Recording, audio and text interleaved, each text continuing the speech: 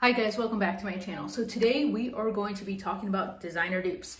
As I've mentioned before, I am a little shopaholic. Um, I have always loved a good designer item, but I can't always buy them like at the frequency that we see them online, obviously, right? And not only that, I don't think you should because there's so many pieces that are just trend pieces. So I would say I can splurge on maybe one or two designer handbags a year, um, shoes, it's really iffy because I barely started dipping my toes in designer shoes, but all I'm saying is I can't, I'm not, it's not like every month I'm buying a new designer item. But I have rounded up some of my favorite dupes that I have bought personally. And I will say some of them, whenever I shop, I don't always look for, for something that looks exactly the same every single time. Sometimes I just go for like the same, the best way I can put it is vibe. Like it gives me the same energy as like the item that I'm looking for. And I'll explain more with some of these pieces. So yeah, let's get started. So first, I will pick um, these shoes. We'll go by brand first because I have a couple that are duplicates. So this one is Chanel. So these are from Vaneli. I bought these probably like three years ago and I love them. I have always wanted like that classic Chanel uh, shoe. Like, and I'll put a picture above of like all the items that I'm speaking of so you know.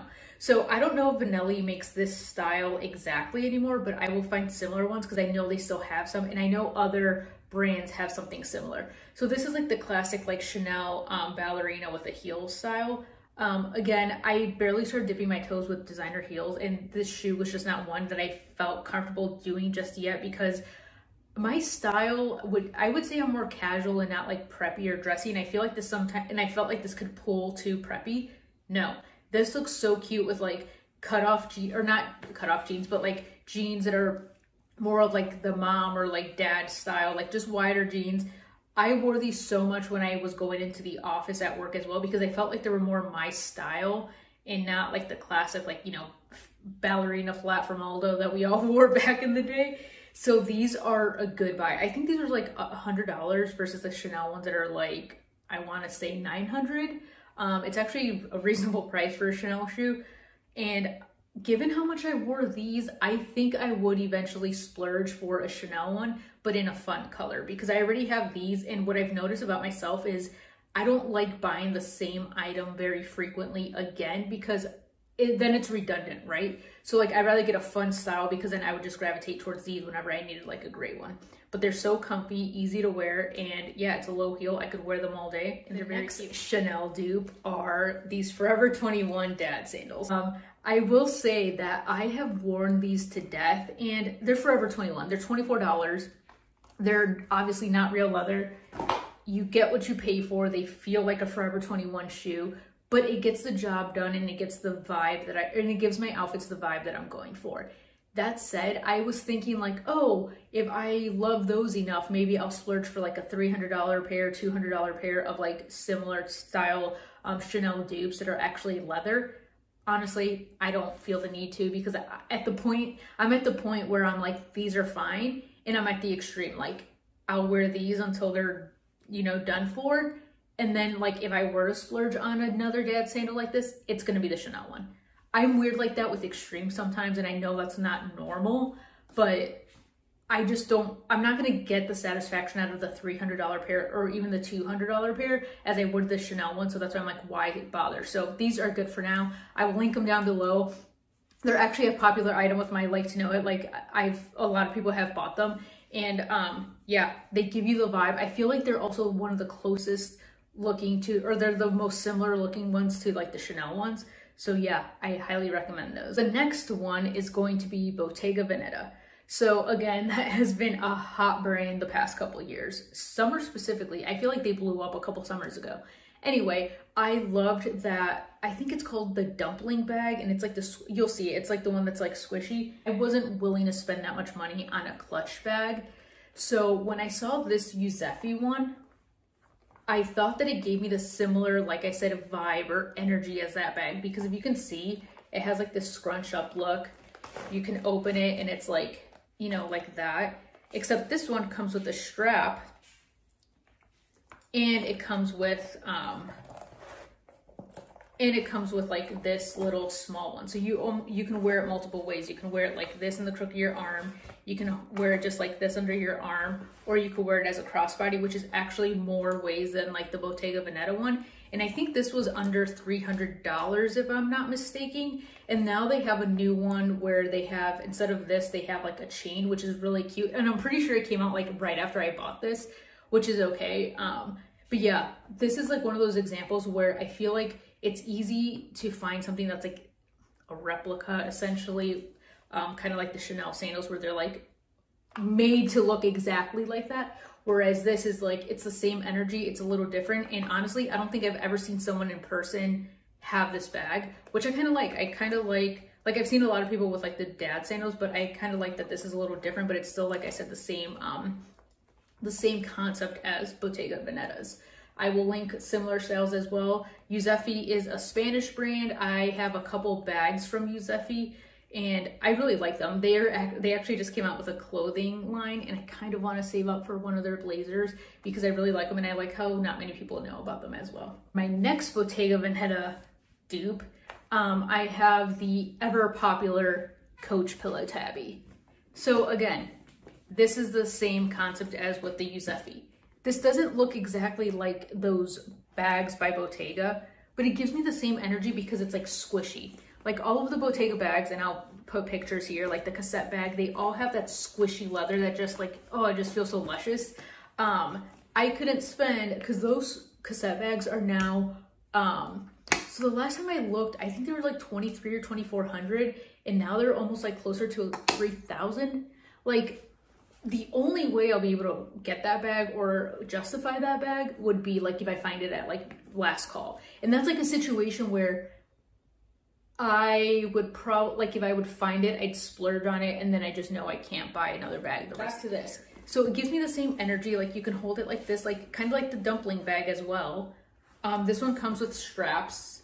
I don't know why I didn't have these. Okay, this one also comes with straps, so you can wear it three ways. You can wear it just like I showed you underneath your arm. You can wear it with this, like just underneath your shoulder, or it comes with the crossbody. So normally I either wear it with the crossbody or um, just underneath my shoulder as a clutch.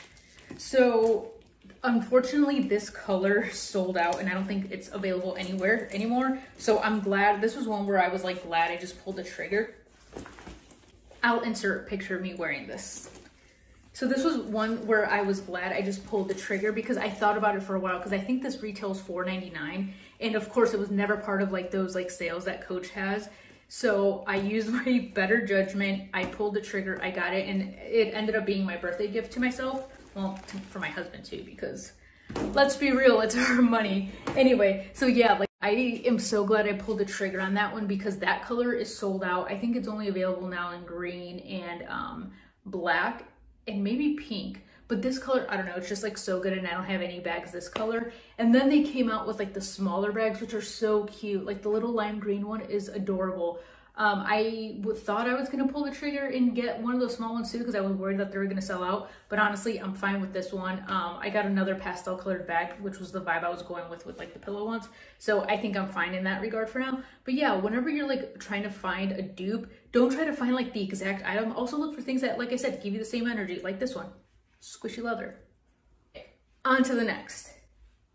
One of my favorite shoe designers right now is Amina Muaddi. If you don't know, she's, um, I think she's a British designer, but her shoes, like Kylie Jenner wears them, Hailey Bieber, like every, anyone who's anyone, like in the celebrity, like when it comes to fashion, they are always wearing them, but they are so hard to find. My parents got me like a nice pair of heels for my birthday, and I was considering getting those, but I could not find them anywhere, so I got something else instead.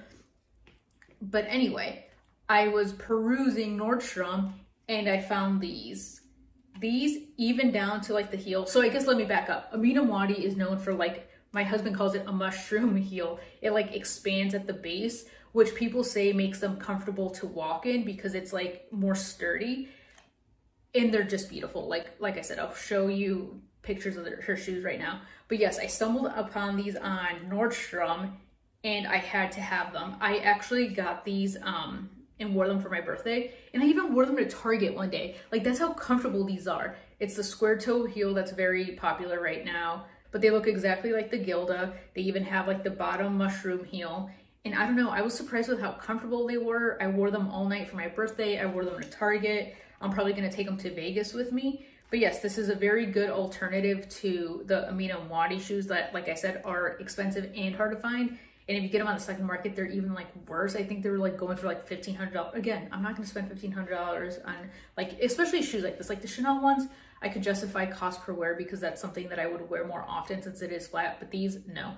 Um, I will say that Jeffrey Campbell also has other sandals that look a lot like other Amina Muaddi shoes. So I will link some of those be uh, below as well, just as some options. My favorite designers right now is Jacquemus. So the best way I can describe Jacques Jacquemus is basics, but makes them, I don't even want to say elevates them. He just makes them quirky. Like I have one of his uh, button, button up shirts and it's like cropped and then it also has like a suspender looking thing. It's just like different. Like he takes basics and like does cutouts on them or he like that's another brand that like Hailey Bieber wears all the time or he'll have like the blazers and then it'll have like a string here and then it's like open and she has like a bralette underneath anyway all that to say these Zara shoes give me Jacques Mousse vibe. This, I immediately thought it was Jacquemus, so I'll show you the heel that I'm talking about. So they're very different, like they're not the same by any means, but like I said, go for something that gives you the same vibe. Like fashion should inspire you. You shouldn't always try to like mimic everything down to a T. You should like put a spin on it and also do stuff within your means. If you have a shoe that's kind of similar and it reminds you of it, wear it the way you see it, you know? Anyway, so that Jacquemus shoe has, it almost looks like a cushion. Like it has like a separation, like it has different fabric here, but this is all one fabric, but it still gave me that vibe because of the way that they did the stitching. And then obviously strappiness, just like, you know, what's popular right now. And then he also does a lot of like colors like this, like this green, or he does a lot of pinks. Um, so that's why these reminded me of them. I've worn these a couple times now and they are so comfortable. Like I wore them all day just working at home. Like granted, I wasn't walking around, but like obviously I could have had my Nike slides on, but they're so comfortable. And I think what helps is this cushion. I will say um, that this strap, I think they just made it an awkward length because it doesn't wrap around my ankle twice. I also think I have big ankles. But um, I just tuck it in. I'm probably gonna put like another hole in here or something. Um, I've just been too lazy to do that, but I've been wearing them with pants, so like it doesn't matter that I just have this tucked in. But yeah, highly recommend. And I think I paid $30 for these when they were on sale. I'll link them below, they're still available. Last but not least, Hermes dupes. So, I wanted the Hermes Oran sandals for the longest time. I'm honestly not a sandal girl. Like, I'm actually surprised that I have like the Chanel ones in here as well because I've never been a, a, sandal girl. I don't know why. I've just never felt confident wearing them. I prefer closed toe shoes. Like, I'll wear other things in the summer. Like, I would gravitate towards a loafer in the summer before doing this. So that's why I didn't want to spend the money on the Oran sandals when I first wanted them. I just didn't think I'd get the use well, I'm not a flip flop person either, but like in the summer, I like it was getting hot. I'm like, okay, like I can't always wear loafers. I can't always wear sneakers. Like I'm a fashion girl. Like it's not always going with my outfit. And I felt like it was just killing the vibe sometimes. Well, I found these Kurt Geiger um, dupes and they don't have the H. And I guess let me back that up. When the Hermes Oran sandals started blowing up on social media, everyone and their mother had those Sam Edelman ones with like the fake age. I'll show you those. It drove me insane because I have this weird thing where I don't like it when something tries too hard to look like something else when it's like not working and it's an obvious fake.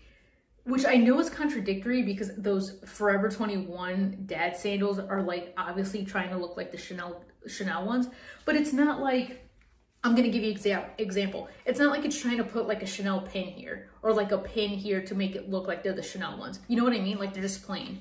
Whereas like the Sam Edelman ones, I felt were trying too hard because they tried doing like the H like the Hermes sandal has and it drove me up the wall. And also everybody and their mother had those, which I guess you could argue everybody had the Oran ones, but whatever, I digress.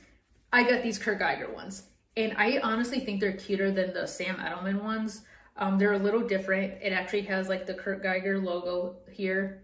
They were over a hundred dollars, but under two hundred dollars. I was shocked at how much I was wearing these. Like, and they're really dirty, dirty in the bottom, so I'm gonna put them down. So this is what they look like. The summer I got them, I took them on a trip. um, because I don't like wearing flip flops to the beach, so I wore those instead.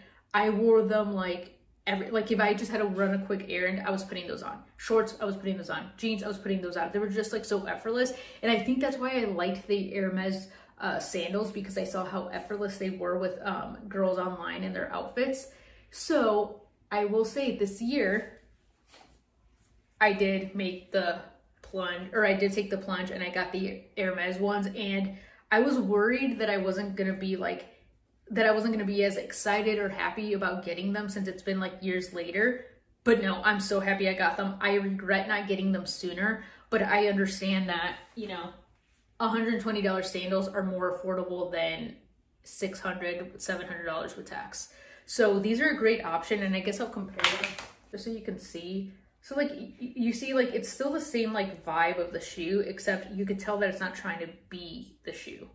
I don't know. I like this and I like this better than the Sam Edelman one, but I will link these down below. If you're on the fence about getting these and you think, oh, they're not in style anymore, a shoe like this is always going to be in style. If you think you'll wear them, get them. Like I, like I said, I regret not getting them sooner and I kind of want them in another color as well. I think I, either black or white, but I think I would probably gravitate towards black or they also have a cool um, denim looking one that would be awesome and i'm obsessed with the new furry ones but um, i think my feet would sweat in them so i don't think i'd get those. But yeah.